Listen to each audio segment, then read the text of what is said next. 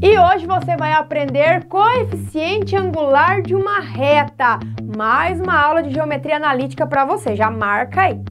Então veja que existem três casos distintos para você encontrar o tal do coeficiente angular de uma reta.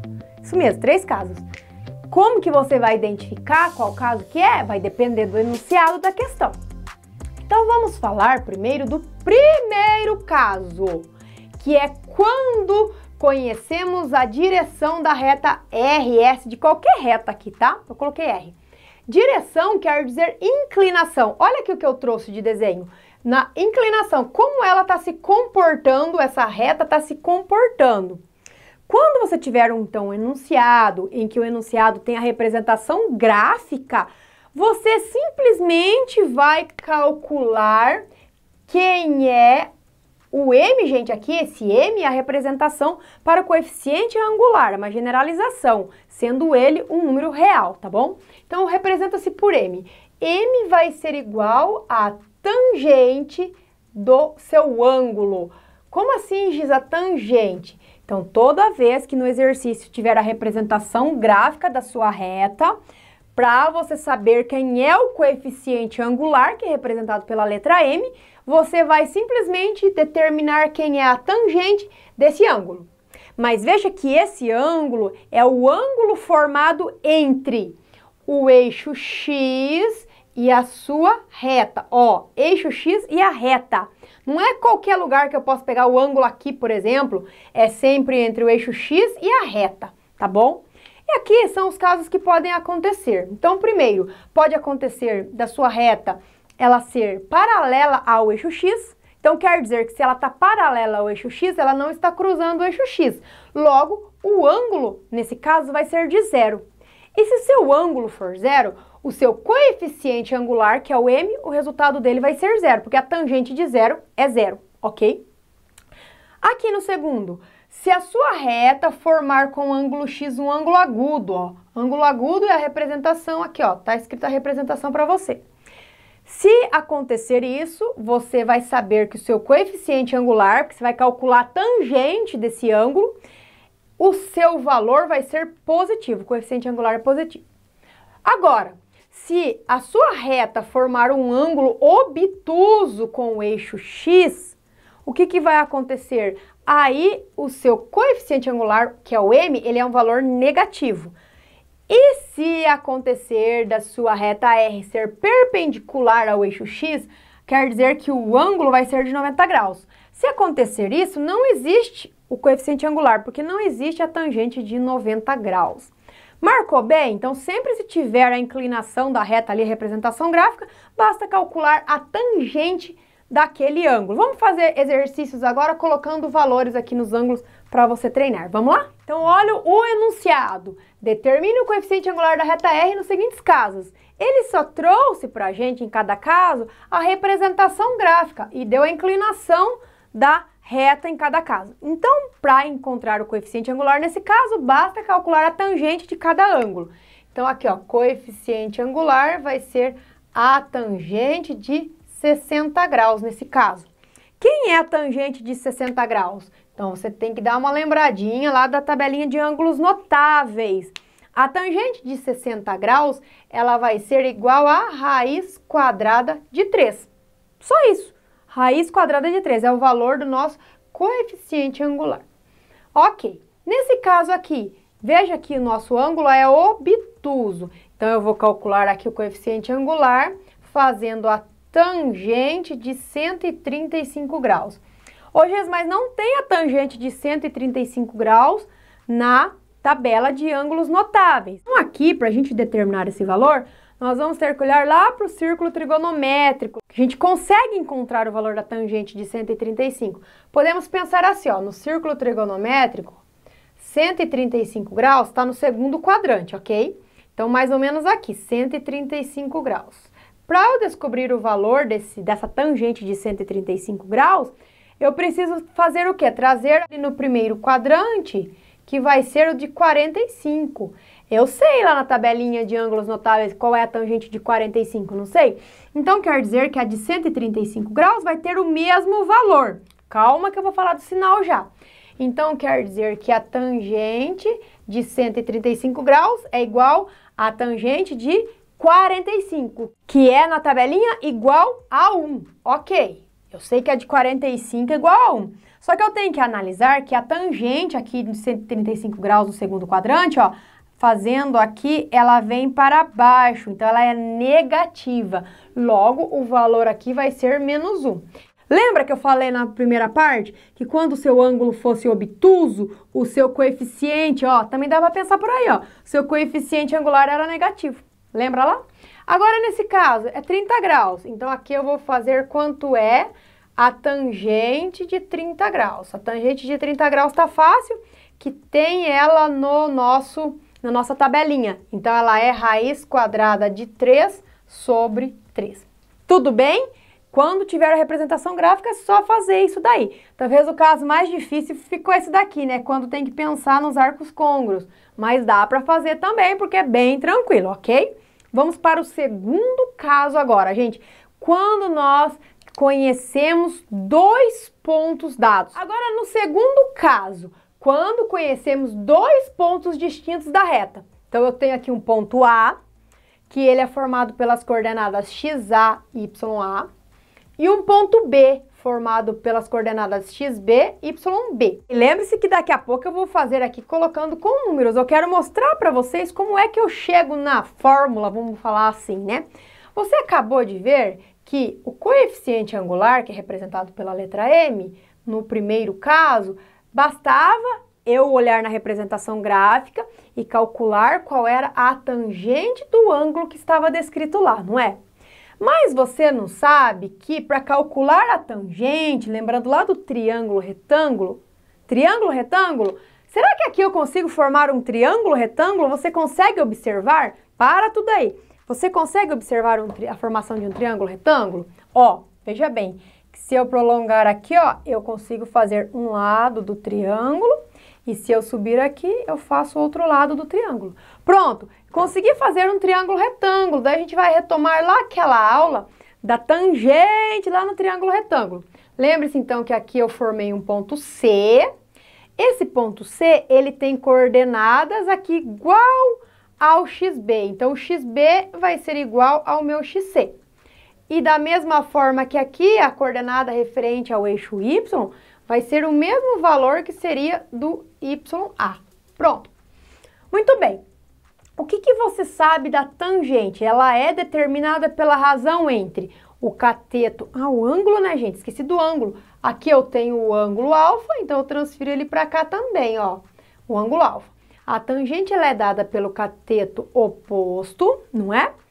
E o cateto adjacente que está aqui, ó. Então, ó, vou só escrever para você lembrar tangente do ângulo alfa, ela é cateto oposto por cateto adjacente. Marcou isso daí? Lá do triângulo retângulo que a gente trabalha. Agora veja uma coisa então, Giz, você está querendo relacionar então o triângulo retângulo lá da aula das, das aulas anteriores com o coeficiente angular aqui? Sim, gente. Por isso a explicação, ninguém perguntou no primeiro caso para mim, por que que quando eu vou olhar para a representação gráfica basta calcular a tangente do ângulo que eu encontro o coeficiente angular? É por conta da formação do triângulo retângulo aqui, gente. Por isso que daí forma, não é só porque forma, né? Mas porque formou o triângulo, aí eu olho, o ângulo de visão tá aqui, lado frente dele é o cateto oposto, lado junto cateto adjacente. Relação entre cateto oposto e cateto adjacente, tangente. Pronto, tá explicado por quê então, né? Continuando, então. Vou apagar aqui essa representação para a gente fazer outra coisa. Que então vai ser a os valores referentes ao cateto oposto. Veja que o meu cateto oposto, ele é o que? Ele é a variação do valor aqui do YB menos o valor que está aqui do YC. E o YC é a mesma coisa do YA. Então, tendo a variação aqui, é o seu valor do cateto oposto. E eu posso colocar aqui, que seria o lugar do cateto oposto. YB menos YA. Ok. Para eu determinar o cateto adjacente, o que, que eu vou fazer? Eu também faço a variação aqui, ó. Eu pego esse valor que vai estar tá aqui, que é referente ao XB ou ao XC, já que eles são iguais. Então, vou colocar XB, XB menos o valor do XA. Então, se eu tivesse valores aqui, eu faria a diferença deles e eu encontraria quem seria o cateto adjacente. Então, o cateto adjacente vai ser a diferença entre XB e XA. Então, nós podemos concluir que para encontrar o coeficiente angular quando eu tenho dois pontos dados, nesse caso, eu vou fazer então a variação de y, que seria yb menos ya, pela variação de x, que seria xb menos xa. Ó, mais um caso para você anotar aí de como calcular o coeficiente angular. Agora vamos fazer os exemplos colocando os números, porque até aqui eu quis mostrar para vocês como é que eu chegava na formulazinha para determinar. Vamos lá? Então aqui eu já coloquei os números, como eu disse, ó, o ponto A é formado pelas coordenadas 2 e 2, o ponto B coordenadas 4 e 3. Você já consegue observar o triângulo que é formado ali? Dá para ver bem, né? Então, ó, tem um triângulo bem aqui, ó, um triângulo retângulo, ó. Ó o triângulo retângulo aqui. Aí lembrando que se eu prolongasse essa reta que eu não prolonguei, ela iria cruzar com o eixo X, iria formar o ângulo. E esse ângulo eu posso trazê-lo para cá, ó. Cateto oposto, nossa, tá minúsculo, produção, dá um zoom aí, ó. E aqui cateto adjacente. Aí você se lembra que nós falamos agora há pouco que o coeficiente angular poderia ser calculado pela tangente do ângulo alfa. Cateto oposto pelo cateto adjacente que era determinado pela variação de y e a variação de x. Lembra que nós fizemos? Então, aqui para eu determinar quem é esse cateto oposto, pensando no exemplo lá anterior que eu fiz mostrando como chega, então o que, que eu vou fazer? Ah, esse valor aqui é referente ao 3, então eu pego 3 ali, menos, menos quem? Menos esse valor aqui, que é o 2, ó, que é referente a esse ponto C que eu tenho aqui. Então, se eu fizer 3 menos 2, a diferença aqui dá de 1. 3 menos 2, ok dividido pelo cateto adjacente, que também vai ser a variação desse ponto aqui, que é referente ao 4. Então, vai ser 4 menos referente à abscissa do ponto A, que é 2. Ó. 4 menos 2. Aí eu vou fazer 3 menos 2, 3 menos 2 dá 1. E 4 menos 2 dá 2. Então, quer dizer que eu acabei de encontrar quem é o meu coeficiente angular, que é 1 meio. Giz, pergunta, toda vez eu preciso fazer o desenho aqui do, da representação para achar o triângulo para depois fazer? Não, gente, faz direto. Esquece disso aqui, já pode vir direto na variação. Então, por exemplo, se eu colocasse aqui para vocês um outro exercício, outro exercício não, eu vou colocar o mesmo aqui para você visualizar rapidamente, ó. E o ponto B, que é 4 e 3. Ó, faz de conta que não existe nada disso, eu apaguei tudo. Vamos lá. Isso aqui é o x de A e esse cara aqui é o x de B, ok? Esse aqui é o y de A e esse aqui é o y de B. Então, para eu calcular quem é o coeficiente angular, eu tenho que fazer variação de y pela variação de x. Não foi isso que eu expliquei, cheguei lá no, na tela anterior? Foi isso aqui que eu cheguei, que está aqui também, né? Mas vamos fazer direto o negócio. O que, que eu vou fazer? Variação de y y de B, que é 3, ó, vou até escrever, ó, y de B menos y de A, dividido por x de B menos x de A, e reforça bastante. y de B, que é 3, menos o y de A, que é 2. Ó, o que, que eu escrevi aqui em cima? 3 menos 2. Dividido por x de B, que é 4, menos x de A, que é 2. Ó, o que, que eu escrevi aqui em cima? Exatamente, né, gente? 3 menos 2, 1. 4 menos 2, 2. Então, o coeficiente angular vai ser de 1,5. Tá vendo? Não precisa fazer nada disso aqui. Você já faz direto, não precisa nem escrever nem isso, direto. Já pega o jeito de fazer, ok? Agora nós vamos para o terceiro caso de como encontrar o coeficiente angular. Agora, no terceiro caso, quando conhecemos a equação geral da reta, ax mais by mais c igual a zero. Tá, você se lembra que eu encontro a equação geral da reta fazendo determinante. Lembra da aula anterior que eu fiz, expliquei tudo para vocês e cheguei nisso daqui exatamente. Aí eu coloquei lá para vocês. Já expliquei na outra aula, por isso não vou falar aqui de novo. Eu expliquei que eu chamei a diferença de YA menos YB de A, o XB menos o XA eu chamei de B, e tudo isso aqui eu chamei de coeficiente C. Então, aqui, esses em vermelho são coeficientes, tá bom? Então, também não sei se você percebeu, aqui ó, ax mais by mais c igual a zero é a mesma dessa daqui, né? É que eu estou mostrando para vocês o caminho para chegar, tá bom? Então, a mesma coisa. Agora, você acabou de ver que para encontrar o coeficiente angular, nós podemos fazer simplesmente a variação de y pela variação de x. Você não acabou de ver isso daí na tela anterior? Muito bem. O que, é a variação de y? Fala para mim. A variação de y, como nós vimos agora, é yb menos ya dividido por a variação de x, que é xb menos xa. Muito bem. Agora, você consegue observar alguma coisa aqui, aqui em cima? Dá uma olhada, analisa bem. Produção, dá para ver alguma coisa ou não?